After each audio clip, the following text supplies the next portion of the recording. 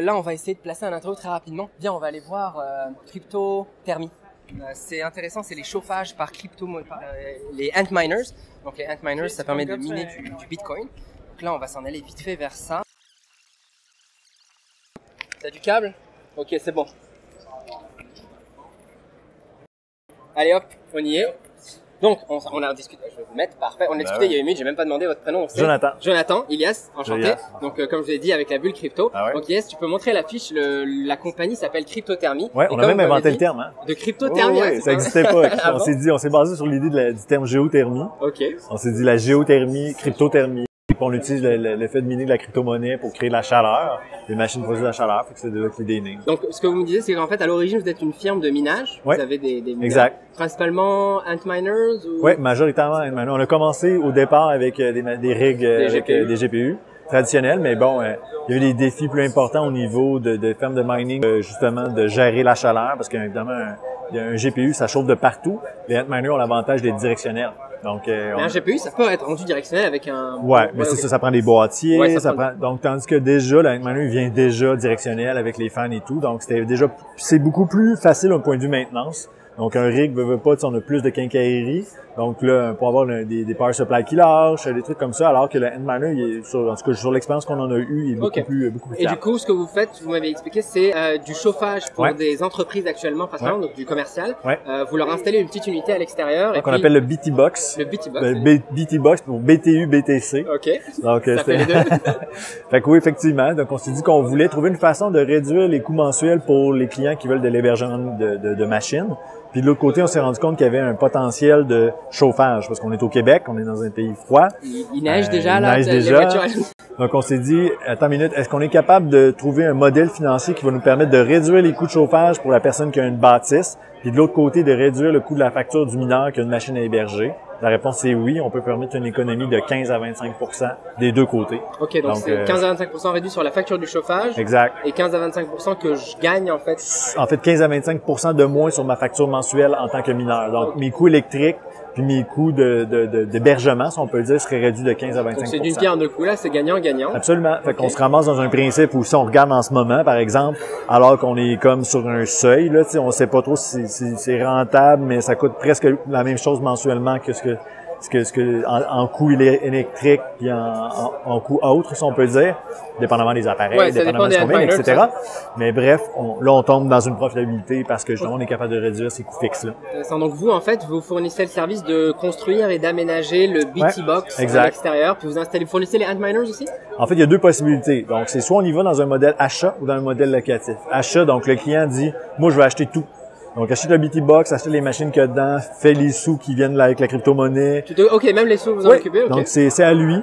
Ou en modèle locatif, donc le client dit, mais moi, je veux le BT Box, puis nous, on va fournir les clients qui vont installer leurs machines dedans. Ok, très bien. Et euh, petite question la dernière, est-ce qu'il y a des contraintes ou des limitations particulières que vous avez rencontrées avec ce nouveau système de chauffage? À part l'ouverture d'esprit, dans le sens où, euh, quelque part, vu que, tu sais, les gens sont encore, hein, la crypto-monnaie, tout ça, il y a comme une aura, des fois, qui est encore négative. Je dirais que c'est le seul frein potentiel qu'on peut avoir. Le monde dit, ouais, mais là, si ça, si ça arrête demain matin, qu'est-ce qui se passe? Tu sais, C'est c'est le, je dirais, c'est le frein le- plus grand. ouais. C'est ça, donc. Et le type de business dans lequel vous vous installez le plus, c'est pour l'instant? On y va vraiment dans l'agricole, parce que justement, tu sais, on pense au, Québec, euh, maintenant au Canada, on a légalisé la marijuana. Ouais. Donc il y a des serres, les serres, c'est un besoin de chauffage. Donc c'est un marché qu'on cible. euh, Donc c'est gagnant-gagnant pour tout le monde. Parfait, Ouais. bah, merci pour la petite présentation. Le C'était un plaisir. plaisir. Je vais vous reprendre le petit micro. Merci beaucoup. On a le temps de faire un autre interview avant, il est quelle heure? 10h42 La serre, ça m'a fait bien marrer. tu sais. Bah là c'est c'est pour... Euh, les C'est pour les tomates cerises. Il y a du monde un peu partout, mais viens, on va voir. Tiens, on va commencer par Kelvin Mtech. Je suis curieux. Je crois qu'ils font de l'installation de data center, mais euh, il y a personne et puis ça va être rapide. On va commencer par eux. Ah, on est arrivé au moment où il y a quelqu'un qui est arrivé, mais c'est pas grave. Tiens, on va on va essayer de s'en- on va s'intéresser à leur. On est euh, un podcast francophone sur les cryptos. Non, non, mais au contraire, pouvez-vous leur expliquer Oui, oui, bien sûr, bien sûr. C'est parfait, c'est parfait. Ben, en fait, ce que nous, ce que nous on fait, on a créé une solution ce qu'on appelle Mobile Hashing Units. OK, donc euh, Ça, on va l'enregistrer. donc euh, Mobile Hashing Units, OK, c'est une solution mobile pour la crypto-monnaie ou pour la blockchain ou pour l'intelligence artificielle ou pour toutes sortes de, de, de, de, de centres de données qu'on a besoin qui soient installés, qui soient préfabriqués, puis qui soient shippés à peu près n'importe où dans le monde. Euh, on conserve les dimensions d'un conteneur standard, euh, donc 40 pieds par 8 pieds par 10 pieds. Euh, donc on peut avoir 2 MW de puissance de hashing là-dedans, jusqu'à 1200 S9. Euh, donc on a deux sections, une section qu'on appelle des pods mécaniques, puis une section qu'on appelle électrique. En fait, tout est déjà fait à l'usine. Toutes les transfos, toutes les euh, switchboards, tout ce qui est nécessaire dans la partie électrique est déjà installé. La partie mécanique aussi, les racks, la partie ventilation, la filtration, euh, tout le contrôle est déjà fabriqué. Donc une fois que tout ça, ça revient sur votre chantier, peu importe d'où ce que c'est votre terrain, là, vous faites juste les mettre à terre, installer vos miners, puis plug and play, puis that's it. C'est c'est, ben, en fait, c'est pas des conteneurs parce qu'on les fabrique vraiment euh, au complet, mais, euh, mais c'est vraiment un data center mobile. Pardon? A à Z. Il y a absolument rien que, tu sais, moi, j'appelle ça un conteneur. Si vous regardez les images là-bas, ça montre un peu la façon qu'on les fabrique. Donc, chaque panneau est préfabriqué à l'usine. On a deux usines, un à Montréal, un à Holly, à Detroit. Euh, moi, j'appelle ça un conteneur juste parce que c'est des dimensions d'un conteneur. That's it. Rien à voir. Ça n'a rien à voir parce que, ça, c'est un peu l'exemple de l'intérieur. Une fois que tout, est déjà installé, tout est déjà préfabriqué, les switchboards, les panneaux, les conduits, tout est déjà fait. En fait, c'est fait pour que ces unités-là soient installées à peu près n'importe où, n'importe quelle condition. Tout ça, c'est fait pour que la filtration se fasse comme il faut, le, le mélange se fasse comme il faut, justement parce que on est au Québec, hein, et même un peu partout en Amérique du Nord, il fait souvent très froid. Donc, on voudrait pas avoir l'air à moins 20 là, qui rentre dans les mains. on va pas les, on va pas les geler. Donc, tout ça, c'est fait automatiquement. La température est parfaitement contrôlée. Puis tout ça, vous pouvez avoir accès avec votre cellulaire, voir un peu le schématique de, OK, les fans, comment ils fonctionnent, c'est quoi la température d'extérieur, intérieur, mais c'est surtout la filtration aussi, là. On filtre, on veut pas que les manuels se salissent aussi, là. Ah. Super. C'est bon? Parfait, merci pour la présentation. Bien vu. C'est top. Ouais. Ah, il y a une question pour vous. Alors, allez-vous proposer le nouveau Bitmain S15 dans votre conteneur? En fait, nous, notre design est fait pour un S9, mais c'est parce que, comme qu'on sait, les différences entre S9, S11, M, M10, euh, même S15, ils ont toutes à peu près la même dimension physique. Nous, ce qu'il faut comprendre, si on peut montrer ici, c'est la partie, ce que j'appelle électrique, OK? La partie électrique, c'est 2 MW de puissance disponible. Pourquoi 2 MW? Parce qu'on voulait que être capable de livrer dans une dimension de conteneur standard. On aurait pu faire euh, 80 pieds par... euh, donc, on a dit 20 pieds, 40 pieds. Et 40 pieds, le maximum que ça rentre dans un 40 pieds, c'est 2 MW. Ok. Ceci dit, avec les 2 MW, on est capable de rentrer 1200 S9, les mêmes dimensions. Maintenant, si les S15 ils ont des dimensions plus petites ou plus grosses, ben on est capable de l'adapter parce que cette solution-là est adaptable à 100%.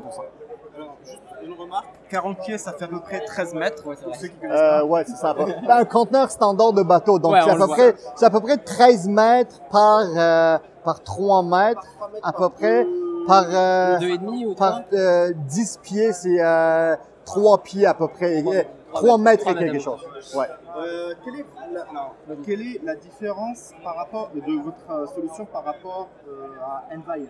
Envion, si vous les connaissez. Je les connais très bien. Parfait. Envion, nous autres, ce qu'ils font, eux autres, c'est, je veux pas parler de ce que les autres font puis de ce que nous on fait. Nous, ce qu'on fait, c'est des pièces faites 100% from the scratch, comme on dit, à partir de rien, on construit au complet. On, on, on, pro- on fabrique, on installe, pas seulement pour les miners, un type de spécifique. On peut avoir des S9, S15, des GPU, euh, des M10, vraiment n'importe quel type de miner, mais c'est surtout, nous, on a une ventilation intégrée. Nous, on a 300 000 CFM de ventilation. Les autres, un peu nos com- compétiteurs, de ce que je peux voir, les autres, ils n'ont pas une ventilation poussée. C'est vraiment une ventilation standard. Ils n'ont pas de filtration, ils n'ont aucune protection. Donc, c'est vraiment 100% l'air d'extérieur qui passe à travers les miners. En Amérique du Nord et probablement dans beaucoup de places en Europe, il fait assez froid. Donc, si on rentre l'air, exemple, à moins 10 degrés Celsius, ça va, ça va, ça va geler les miners. Donc, il faut créer un système de recirculation, il faut créer un système de mélange pour que ces, ces, ces, ces températures-là soient parfaites pour les miners. Et c'est ce que nous, on fait que je crois que personne d'autre, euh, que personne d'autre fait. Donc le site web c'est Kelvin Mtech. Euh, Le la site compagnie. web, c'est kelvinintech.com. Euh, je veux dire, la meilleure façon pour euh, pour vous, pour peu importe qui qui est à l'écoute, d'avoir de, nou- de nos nouvelles, c'est d'aller sur le site de Kelvin Intech, soit écrire un email à mon email de bureau. Euh, je vais vous laisser ma carte. Je sais pas si vous allez pouvoir le le, le, mettre sur prendre en le photo. prendre en photo. C'est F Nejad à commercial kelvin-mtech.com. Euh, ou sinon juste aller sur Kelvin Intech, contactez-nous puis vous allez avoir des infos pour C'est nous parfait. rejoindre. Merci beaucoup. All right? Dernière petite question. Ah oui. Oui, bien sûr. Euh, ça a été imprimé avec les Stratasys? Ah oui, Euh, c'est- un, imprimante 3D, Ouais. mais c'est quoi et comment, je sais pas, je l'ai fait ok, faire, bon. mais c'est une imprimante euh, 3D exactement. Parfait. Parfait, merci, beaucoup. Alright, Je vais reprendre ça. Oui. Merci. C'est top. Euh, on va devoir faire une pause parce que j'ai plus de batterie pour l'or.